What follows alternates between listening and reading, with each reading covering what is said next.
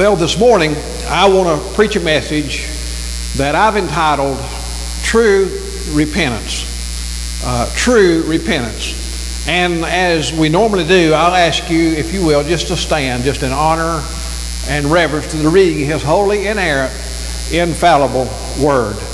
We'll take our text in Matthew chapter 3. We're going to read these verses here, the first 12 verses of chapter 3. Uh, Matthew writes like this He says, In those days came John the Baptist preaching in the wilderness of Judea, and saying, Repent ye, for the kingdom of heaven is at hand. For this is he that was spoken by the prophet Isaiah, saying, The voice of one crying in the wilderness, Prepare ye the way of the Lord, make his paths straight. And the same John had his raiment of camel's hair and a leathern girdle about his loins, and his meat was locusts and wild honey. Then went out to him Jerusalem and all Judea and all the region round about Jordan, and were baptized of him in, in Jordan, confessing their sins. But when he saw many of the Pharisees and Sadducees come to his baptism, he said unto them, O generation of vipers, who hath warned you to flee from the wrath to come? Bring forth, therefore, fruits meet for repentance. And think not to say within yourselves, We have Abraham our father. For I say unto you that God is able of these stones to raise up children unto Abraham. And now also the axe is laid unto the root of the trees. Therefore every tree that bringeth not forth good fruit is hewn down and cast into the fire. I indeed baptize you with water unto repentance. But he that cometh after me is mightier than I whose shoes I am not worthy to bear. He shall baptize you with the Holy Ghost and with fire, whose fan is in his hand, and he will thoroughly purge his floor and gather his wheat into the garner, but he will burn up the chaff with unquenchable fire. Let's pray. Father, and amen. And you can be seated. How many times have you heard someone say when you would witness to them about going to church or uh, coming with you to church or whatever. I've heard people say, you know what, I'm just as good as those people down there. I really don't need uh, what guys are propagating because I'm just as good as they are. You've also probably heard people say, well, I really don't feel right about going to church until I get my life right because I don't want to go to church and act like a hypocrite. I, I want to, I want to be living the Christian life and then, and then I'll go uh, and, and, and be uh, in, in the church. You know, it's, it's kind of like that they're just kind of putting things off or, or whatever. But I'm reminded of a passage of scripture that Jesus spoke that really got my attention and still holds me today. It just grips my heart when I think of the passage of scripture that he, what he said in Matthew 7 in verses 13 and 14. Uh, Jesus said to us, he said, enter into straight gate because Straight is the gate and narrow the way that leads to heaven. And he says, Few there be that find it. And I, I look at that and I think, Lord, compared to the billions of people that's been on the earth, there's only a few people going to find this gate that leads to heaven. And we understand and know that that gate is the gospel of the Lord Jesus Christ. And that's not very popular in our, our culture today.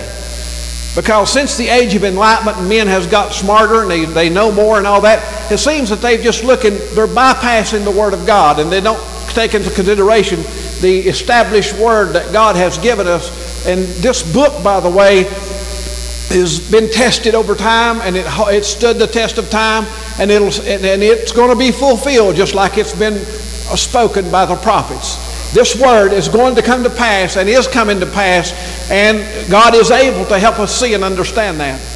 But you see, there's something that we want to understand this morning, and I hope that we can. I hope we can do it today. I want us to consider what true repentance really is according to the Bible. What is true repentance? What does it mean to really be a repentant and, and, and to repent of sin? Well, just in the way of helping us understand what repentance is, I first of all want to tell you what it's not. Although it's, it's, it could be part of it.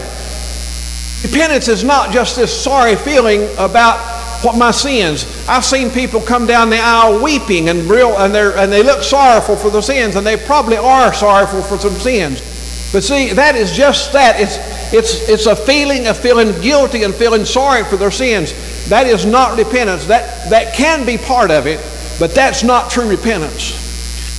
Um, you see, true repentance works like this. True repentance is, is kind of, true repentance is an action word. It requires you to do something. And the word repent means basically in, in the original language, it means to change. It means, it means that I've basically had a change of mind. So to repent is I've changed my mind about me and about who God is and all that, and I'm now placing myself in agreement with God. And so basically repentance is a change of mind so that I can come into and receive this great gospel that the Lord Jesus Christ came to the earth for us to help us understand. So when, when we understand when we understand this great and mighty gospel of the Lord Jesus Christ, He is our heart and changes our life. Lord, I glorify your name. I love you more than anything and everything. Amen. I can never thank you enough for what you did for me. I love you so much. Amen. You died for my sins. Lord, you took away my broken heart. You fill me with your spirit. I can never thank you enough for that. Lord, I just want to go Amen. Whatever I do with my life, I always shine for you. No matter what I do. Hallelujah. Lord, help me with the privilege to church. Serve you. I feel so unworthy, Lord, of your love. But you died on the cross for me and everybody. And I'm just so thankful for your unchanging hand to hold me up. Amen. He's standing God in my footsteps. Lord, I thank you for my word, your word and your promises. Lord, I live by them. Lord, I want to always serve you to the best of my ability. I, I want to glorify your name in anything I do and say. I love you and I praise you. Amen. In your name. You are holy, holy Jesus. I can never thank you enough for what you did for me. I'm so unworthy. But God, you took me. You called my name. Thank God you called my name one day. Amen. I dying going to hell, but you called my name that day. You changed me, Lord, to give me a different person. And I have a heart of love now for everybody that's lost. God, I pray that you can convict anybody, Lord, that's lost and sin. Help them, God, to see they need another brother of your, your heart. Give them a heart of love like you give me. I love you and praise your holy name. Everything I. Amen. Amen. Church, I want you to know that you have the freedom to obey God in this congregation.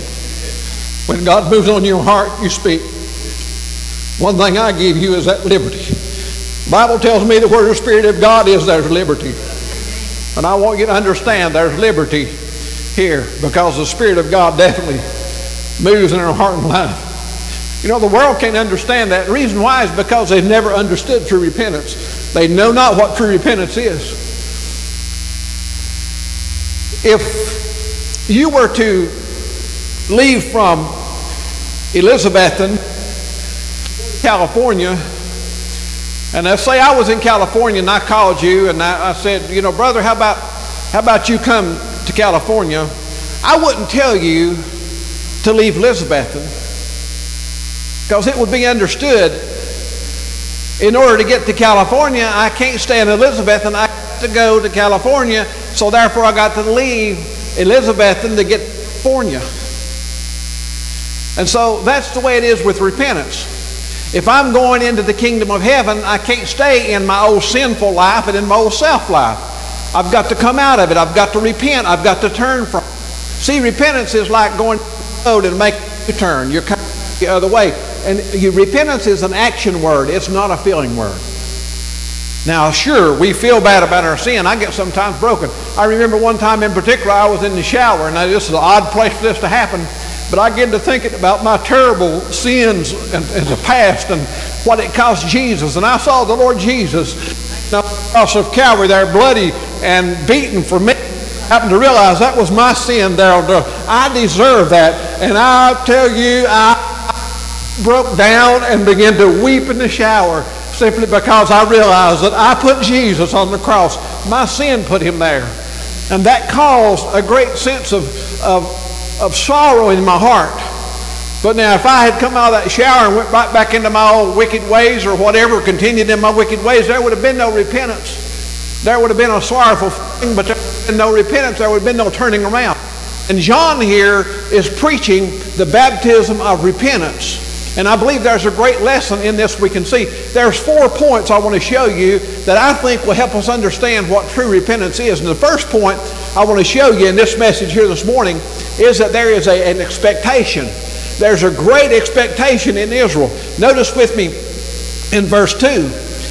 And, and he says in verse 2, he says, Repent ye, for the kingdom of heaven is at hand. The Jewish people understood that there in prophecy there is a Messiah coming, the deliverer coming for Israel. And what they failed to understand, they were seeing a natural kingdom. But what God has explained, He has explained that I am redeeming mankind to myself and I'm going to create a new heaven a new earth. And here's where my church is going. Here's where the people is going to be, that I'm going to have fellowship and relationship through all the endless ages of eternity. But the of Israel was looking for it to happen then, right now is what they was thinking. They, they were looking for it to take place then. And you, so, so you see, there was a great expectation of this event coming from Israel because they had been under the rule of the Greeks, and then they had also been under the rule of the Roman Caesars. And they were looking for somebody to free them. They wanted somebody, anybody coming. So they were expecting this deliverer to come. They were actually, the Pharisees was actually looking for Messiah to come. And so now, between chapter 2 and chapter 3 of Matthew, approximately 28 years passes. And but I want you to know also, but between the the last book of the Old Testament, which is till Matthew, there was a period of 400 years that's called the silent years. No prophet of God spoke. In other words, the word of God was silent. It was almost as if they were in total bondage and captivity because they had been given the law and, and uh, the law of Moses and they were living. And here you had we had the Pharisees making laws, making them up as they went along, really. And so they had got into, into a religious mess, so to speak. And then here we find John the Baptist showing up. And if you remember him, the angel Gabriel came and told Zechariah that he was going to, they were going to bear a son, that Liv was going to have him even in her old age. And so this was the John the Baptist that was raised up. Remember, the angel said, call him John, because he was actually the last prophet of the Old Testament. Here he is. He now he is he's begun his ministry, and out there, and I can imagine he didn't look very popular. He wasn't real slick. He wasn't a city slicker. Now this old boy, he he he was something else. He had camel's hair. He had a leathern girdle around him, and, and he ate grasshoppers and wild honey. And you can imagine this old boy having locust legs hanging out of his mouth, so to speak. He wasn't very pretty to look at. But he had a message. And the people were listening to him. The reason why is because, you know, he's talking about this the kingdom as heaven is at hand. It's getting ready to happen. You know, this, this deliverer's coming. Let's go hear what he's got to say. So you see, there was an expectation in the life. I tell you, I think in the world today, if people could understand and see the true light of the Lord Jesus Christ, there would be a great expectation. Because, church, I'm telling you, there is a deliverer for mankind. He is present in spirit, and he is moving in a mighty way, drawing those people to himself that belong to him, who are his. Not only an expectation, I want you to notice also the mass movement. Now, notice in verse 5 with me, notice the mass movement that was here. The Bible says, Then went out to him Jerusalem and all Judea and all the region round about, around about Jordan. In other words, all the known area at that time began to come together. Now, why were they walking out to hear this message that John the Baptist was preaching? Because somebody had been telling, the word of the Lord has come. The word of the Lord has come. Now, I want you to notice back in uh, back here in, in, in verse 1, it says, it says that in those days came John the Baptist preaching in the wilderness of Judea. What he was preaching. God had put with him a burden to give this message. I don't think John really wanted to. I don't think John John didn't find himself seminary learning how to do this. As a matter of fact, John probably would rather be let alone. But there was something in his heart that compelled him, would not let him rest. I need to, here's what, here's the word of the Lord has come, and here's what the word of the Lord is. See, Israel had not heard the word of the Lord from a prophet for 400 years. So now it was very important to these people. It got their attention. Here's John speaking now the word. And so they came to hear. See, they came to listen to this message. And that message was simply this Repent, for the kingdom of heaven is at hand. Now let's talk just a little bit about the baptism. John was baptizing them, putting them in water. That was a, a, custom that they did in the Jewish uh, faith when there was a proselyte, some Gentile or some person who didn't wasn't of the Jewish faith, wanted to come in and be a Jew. What they would do would be to baptize person, which represent a, a, a ceremonial cleansing, and, uh, and then they would circumcise the males and they, then they, they would be a proselyte. They, would, they wasn't Jew by birth, but then they would come into the Jewish faith and be, and be a Jew. So here's what was being said. When they came, here came Jerusalem and Judea and all around Jordan came to them. What they were doing, they were calling, John was calling the Jewish people back to God because they had gotten so far away from God. They had drifted in their activity or whatever, and they hadn't heard a word from the Lord for 400 years. They were just had drifted away from God. All, and so John said, Repent, for the kingdom of heaven is at hand. Now I will admit to you, and the, the scripture bears it out, that what the prophet, what the, the prophet John, John the Baptist was showing, he was seeing the kingdom of God coming right on through into the, into the celestial kingdom. He didn't realize at that time that there was going to be a lot of time between each of these valleys, so to speak, as far as time concerned. John didn't recognize that there was going to be 2,000 years or more between the time Jesus died on the cross until he returned in that triumphal return, his second advent here on this earth. John didn't show us that. He just simply showed us that the kingdom of heaven is at hand, that God's going to do what he said he's going to do. That's the way with a lot of prophets. The prophet Isaiah Zechariah, and those guys who prophesied in Daniel, they, they show you the high points. They really don't get down and give you a timeline until you really study into it and, and figure out the timeline that's concerned here. But John was showing that the kingdom of heaven was at hand, which caused a mass movement. Now, when they came out, they came out to listen to and to hear this great man of God. The Bible tells us there's not a greater man ever born of woman than John the Baptist. John the Baptist was the greatest ever born according, according to the scripture.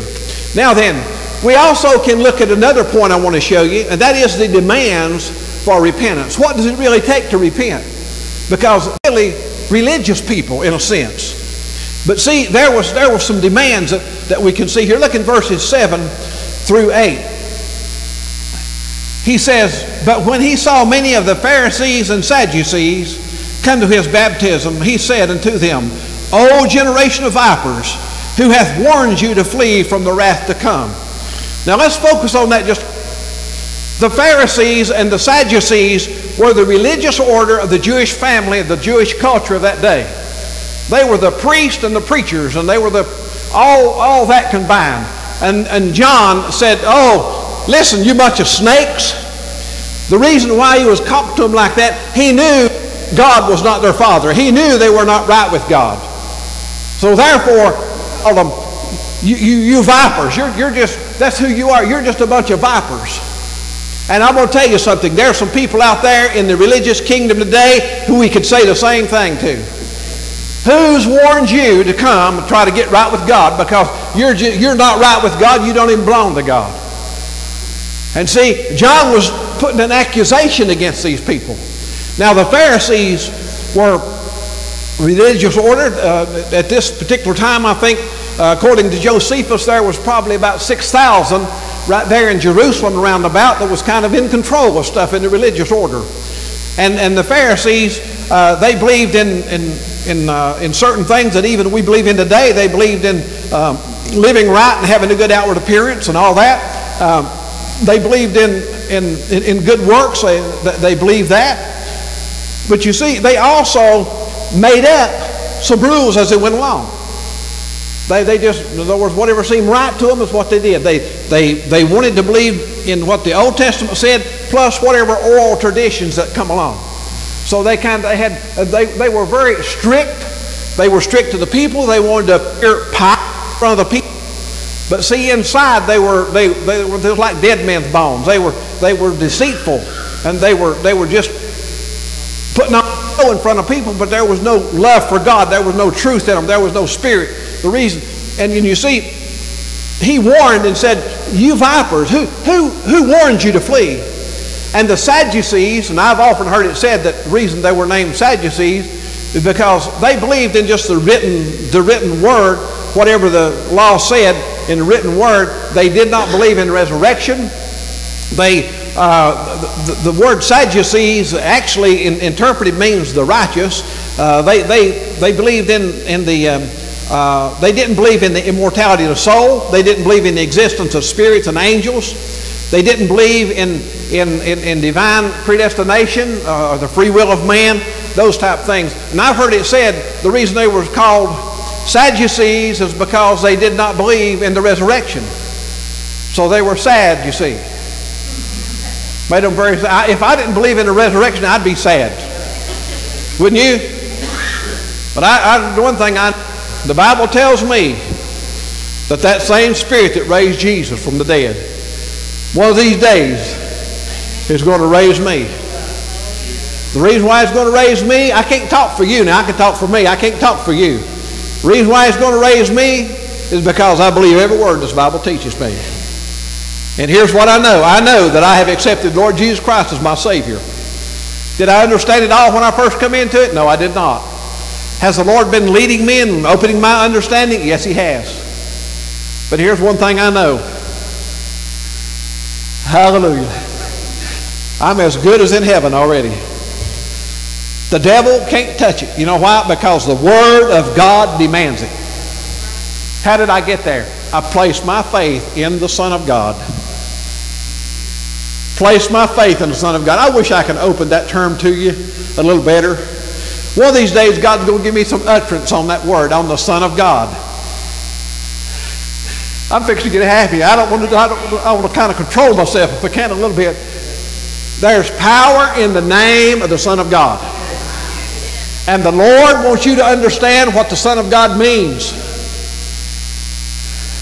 Now, I'm going to put another world, modern intellects thinks we're crazy. If you don't think so, turn the news on and listen to them. They'll tell you.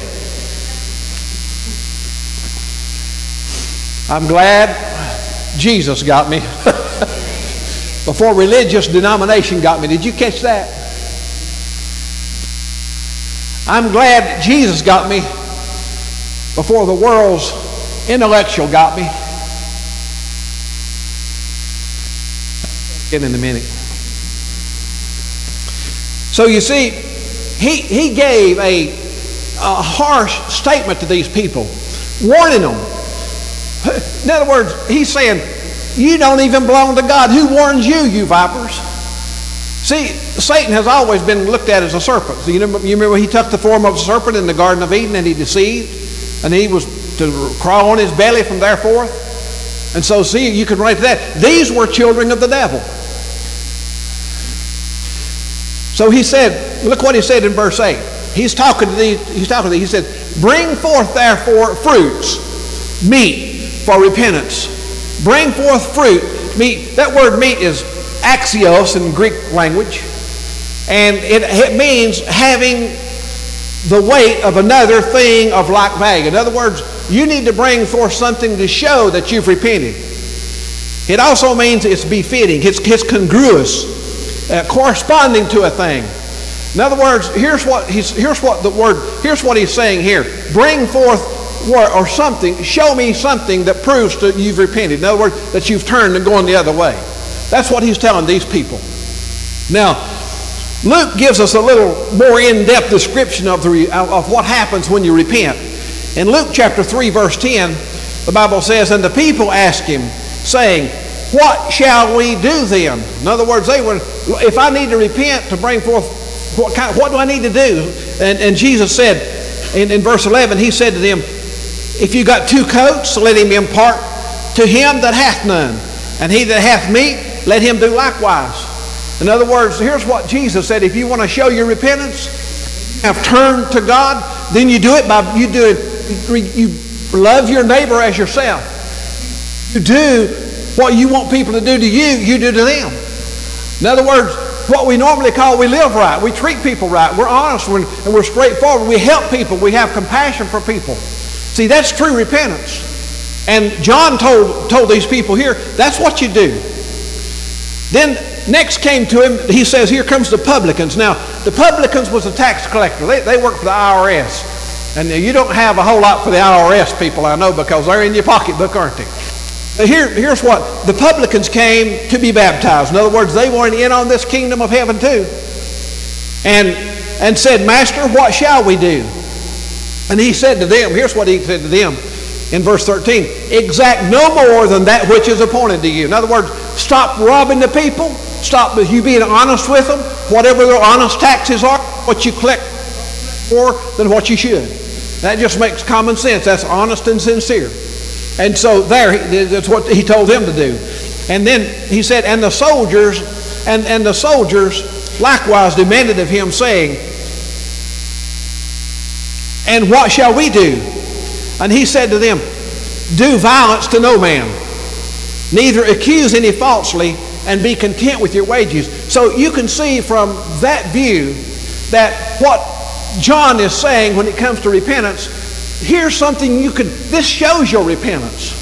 Now, a person who has not really changed their mind and turned their heart to God and letting the Lord Jesus Christ be their Lord, be their Savior, they will not have that kind of fruit in their life. There'll be other things showing in their life. There'll be greed and hostility and all those things will be showing up in their life. There will not be that sweet spirit of the Lord that's showing in their life. And also, uh, we mentioned we mentioned previously the uh, the golden rule. Uh, Jesus said, uh, "Whatsoever ye would that men should do to you, do you even so to them. For this is the law and the prophets." In other words, if you want to understand what the law and the prophets are saying, you just treat people like you want to be treated. The wisdom of God to make that in such a short, concise statement. Here's another one, just to show you the wisdom of the Spirit of God. Love your neighbor as yourself. If you and I would love the neighbor as ourselves, there would be no problems in this earth. There would be no trouble in this earth. There'd be no robbing and killing and things that we've seen. There would be none of that. If we could only, as a people, love your neighbor as yourself. Listen, God is love. And God expects His people, those who have repented, those who have come to Him, to express in their life is a life expression of His love to others. I thank God that he finally convinced this old boy that there is a God in heaven who loves me, who died on the cross to pay my sin debt, and helped me to see that I need to give my life to him so he can make of me what he wants to make. Because, see, God is sovereign. First thing we have to understand, we come to God, we're coming to a God who is creator of heaven and earth. This universe, there's galaxy after galaxy in this universe.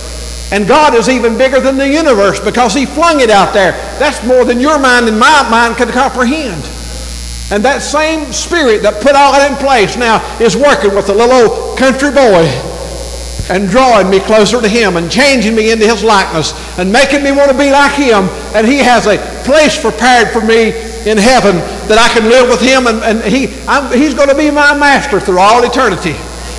Boy, I tell you, Satan don't have anything like that to offer you. The Satan, oh, uh, he, Satan came for this. He came to steal, kill, and destroy. And he's doing a good job of it. Jesus came that we might have life and have it, have it more abundantly. I want to show you also, look at Romans 12, 17 through 19. It says, recompense to no man evil for evil. See, this is giving you an idea of what repentance is. Provide things honest in the sight of all men. There's many a person in church today, not pennied by the way.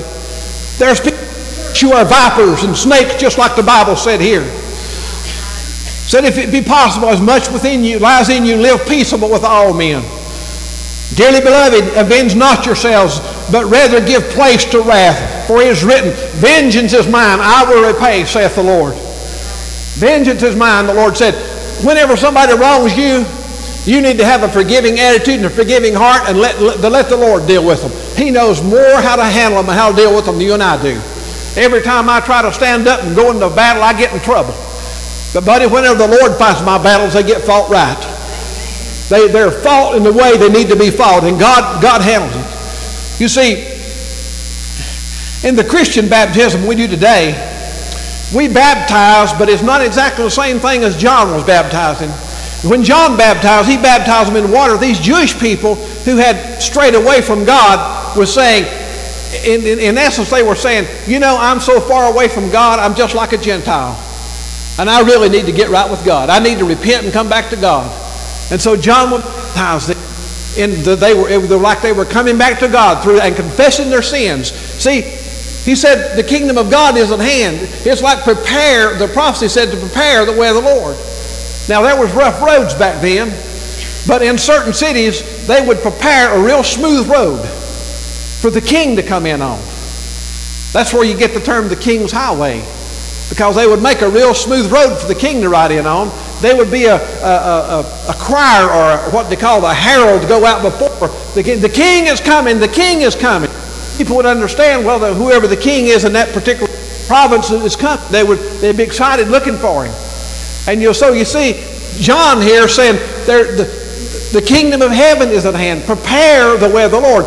Make his way straight. In other words, talking about filling in the valleys and leveling out the and make a way for him. And, and listen, in our heart, we have to have this old heart needs to be smoothed over for entrance for the King of Kings and Lord of Lords to come into our heart and life. There has to be repentance. There can be nothing less than repentance. I'm talking about true repentance. You see, Look, if you will, in Ephesians 2 8 through 10. Now, we love this passage right here. For by grace are you saved through faith, and that not of yourselves, it is the gift of God. He says, not of works in verse 9, not of works, lest any man should boast. Now, notice verse 10. Verse 10 says, For we are his workmanship. God has made us, created in Christ Jesus unto good works. So you can't separate good works from Christianity. You can't separate good works from repentance. If there's repentance and God's your creator and He's making you, there will be good works. Bible says, which God hath before ordained that we should walk in them. We need to walk in those, in, in the fact that we are God's workmen. That's why He moves up on us to do the thing. That's why you have the notion sometimes to help this individual, help that individual, speak to this person. It's good works that God has done. He's doing, and He's doing it in and through you. Now, notice also the last point I want to make here in this message the necessity for repentance. Notice the necessity for repentance. Notice with me in verse 10. John says, John the Baptist says this, and now also the axe is laid to the root of the trees. Therefore, every tree which bringeth forth not good fruit is hewn down and cast into the fire. In verse 11, he says, I indeed baptize you with water unto repentance, but he that cometh after me is mightier than I, whose shoes I am not worthy to bear. He shall baptize you with the Holy Ghost and with fire. Verse 12 says, And whose fan is in his hand, he will thoroughly purge his floor and gather his wheat into the garner. But he will burn up the chaff with unquenchable fire. One thing I noticed, that the fire is going to get us. Let me explain that. Let me explain that. Now, John here is given a long forecast. He's given down to the end, the, whenever all judgments is done, and God gathers everything in and separates and gets everything right, then, then, then he's showing that he's going to burn up the chaff, everything that's left over. He's going to take those that are his out. See, it says he's bringing the into the garner. That's like into the storehouse. Into, in, matter of fact, that word in the Greek is translated barn in several other passages of Scripture. So you see, the prophecy here says that, that the Lord is gathering his people in. It says his fan is in his hand. It's like, like if you see them sifting wheat or whatever, and they toss it up and then they fan it like that, and it kind of blows the, chaff, the, the away. You see, the Holy Spirit is a searcher. Nothing will search your soul like the Holy Spirit will. that spotlight from heaven turns on, it'll see every flaw in you and it'll reveal it to you and give you the opportunity with your will to turn away from it, to walk away from it, and not and don't, don't choose to do it. See, see the, what, what I mean by the fire, it's either going to be the fire of judgment or it's going to be the fire that He fills us with the Holy Ghost and with fire. That fire is a purifier. That's why Christian people live right. That's why Christian people do what's right. That's why Christian people treat their neighbors right. It's because of the fire of God that's burning in their spirit and helping them to see and help purify them and cleanse them. I'm telling you, if the fire of God's not burning in your life today and cleansing you, you need to understand what true repentance is. True repentance is turning away from the way you are and trusting who God is, and then you're putting your sole trust in Him. You're putting your sole trust in Him. This morning, in conclusion, just let me ask this question What is true repentance according to the scripture that we've looked at here today? And here it is. I've condensed it as much as I could. It is to agree with God about your sin, confess your sin, and turn from them it's not just feel sorry about your sin. And you got to trust that Jesus died to pay your sin debt. You see, there's something about how do I get rid of it? See, Jesus died for sin 2,000 years ago. He died one time, paid for every sin that's ever been committed or ever will be committed. That's hard for us to wrap our brain around, but that's the truth of God's Word. The sin that I may do tomorrow, I'm His child. I don't plan on sinning. But if I do, it's paid for. You say, Brother Bill, that's a license to sin. No, it's not because I don't want to sin. I want, God, I, want, I to glorify my Father in heaven. But if I do, I'm just as saved as I, if, if, if I'm just as saved anyway because the blood of Jesus paid the sin debt for every man. The question is, have you repented of your sin? Have you turned to God? And have you yielded your life to Him and let Him make the change? Let Him make the new creature. We are new creatures in Christ Jesus. I don't know about you, but I'm not what I used to be. I'm not what I'm going to be, but I thank God I'm not what I used to be. I can see myself shouting the praises of God around the throne in heaven by faith right now. You know why? Because I repented. Sin breaks my heart. I look at people's lives today and and realize that, you know, oh, if they could only see Jesus, if they would only turn their life over to Jesus, if they'd only turn around and repent and turn to God, God could begin to heal and, and, and fix them. There's people who've been in church all their life that is so distraught, so troubled, so unstable. The reason why is because they've really not turned to God. They've turned to some religious idea. They're going through the motions. They're not really in Christ. In Christ is peace. In Christ is glory. In Christ. Now, everything don't go just like I wanted. I have trouble and problems. We all do. Well, I tell you what, I have a help for my problems, don't you? Listen, Romans 10 13. Paul says, For whosoever shall call upon the name of the Lord shall be saved. I, I'm telling you, we have to know what true repentance is. I'm willing to lay it down. I'm willing to change my mind and turn and walk another way. Now, you don't have to do it like coming before. Whenever you, whenever you make, whenever you change your mind and you agree with God, you don't have to be in church. Now, sometimes the, you know, some preachers will try to get a whole crowd so they can pat themselves on the back and put notches on their staff, whatever it is they do, and counting and all that. But you know, that's that's silly. No, when a man changes his mind, he can be at home, he can be at work, he, he and he commits his life to the Lord Jesus Christ, and he knows for sure that Jesus died to pay his sin debt. He can gloriously and marvelously be saved at that instant. Be changed into a new creature. Now, the way we, in our society today, we do give invitation in church. But I want to tell you something. You're here this morning and the Lord's speaking to your heart.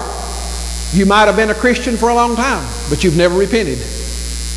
I want you to understand True repentance is turning to God and away from your old self life and turning to Him and surrendering your life totally to God. Say, Brother Bill, do I have to come down front and confess all that? Not necessarily. But I want you to understand what true repentance is. Jesus said, Strait's the gate, narrow the way, and few there be that find it. One thing I want to know for sure is that I am one of the few. I am one of the few. And I pray that you are one of the few that has trusted the Lord Jesus Christ as Savior. Stand with me, if you will.